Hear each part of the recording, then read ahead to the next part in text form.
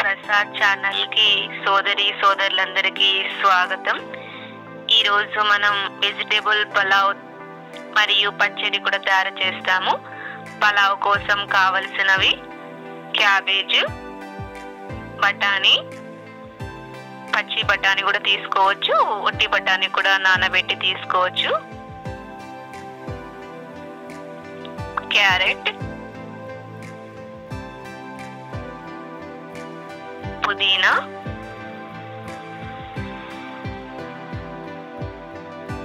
నూలుకోల్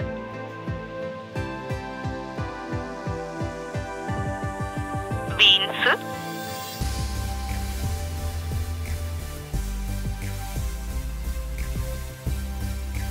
లవంగాలు యాలక్కిలు పెద్ద యాలక్కి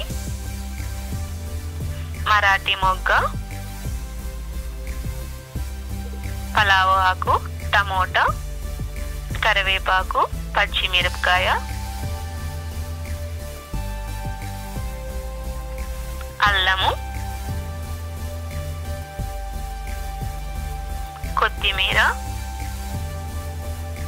బియ్యము ఒక గ్లాస్ బియ్యం తీసుకున్నాము. కొబ్బరి తురిమి తీసుకున్నాం. ఇప్పుడు కుక్కర్లో కొద్దిగా నెయ్యి వేస్తూ ఉన్నాను. రెండు మూడు స్పూన్లు నెయ్యి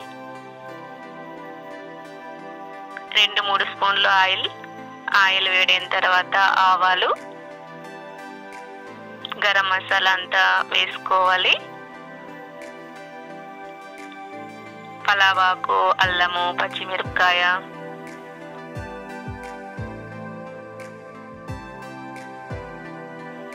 దీన్ని ఈ విధంగా ఒకసారి ఫ్రై చేయాలి.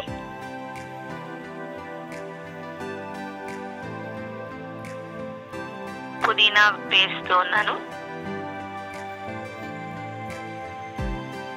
ఫ్రై చేసుకోవాలి.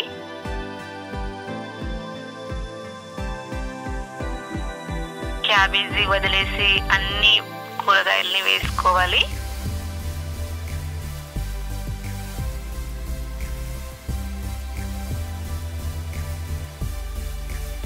ఇప్పుడు క్యాబేజీని కూడా వేసుకోవాలి.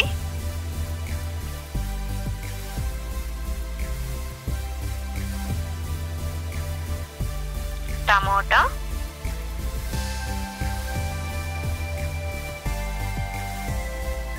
కారం పొడి. ధనియాల పొడి. పసుపు. రుచికి సరిపడే ఉప్పు.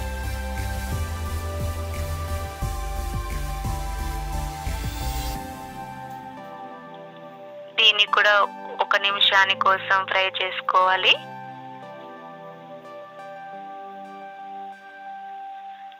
ఇప్పుడు కొబ్బరి వేసుకోవాలి. బియ్యం కూడా వేయాలి. ఒకటి ఇష్టు రెండు నీళ్ళు వేసుకోవాలి. ఇప్పుడు కొత్తిమీర వేస్తూ ఉన్నాను.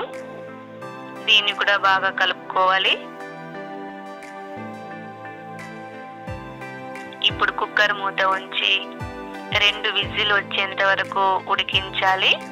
వెజిటేబుల్ పలావ్ రెడీ అయిపోతుంది. అంతవరకు పచ్చడి తయారు చేస్తాము. పచ్చడి కోసం కావలసినవి పచ్చి కొబ్బరి టమోటా చిన్న చిన్నగా కట్ చేసినాము. కొత్తిమీర అల్లము పచ్చిమిరపకాయను కూడా చిన్న చిన్నగా కట్ చేసినారు. కరివేపాకు కూడా చిన్న చిన్నగా కట్ చేయాలి. దోసకాయ.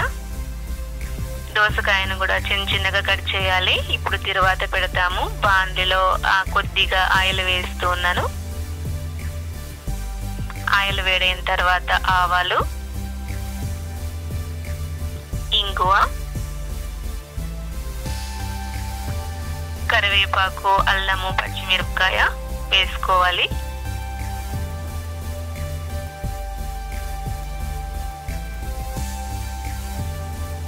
ఒక పాత్రలో దోసకాయని వేస్తూ ఉన్నాను. పచ్చి కొబ్బరిని కూడా వేసుకోవాలి. టమోటా కూడా వేయాలి. కట్ చేసినాం కదా అన్ని ఒక పాత్రలో వేసుకోవాలి. కొద్దిగా ఉప్పు పెరుగు.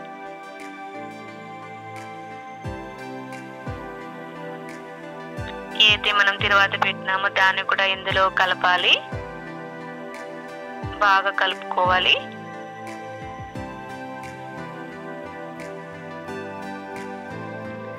ఇది పలావ్ చేతిలో చాలా బాగా ఉంటుంది. కొత్తిమీర కూడా వేయాలి.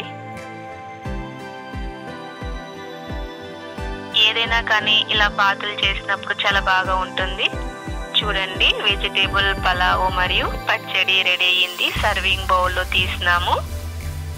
వెజిటేబుల్ పలావ్ పచ్చడి రెడీ.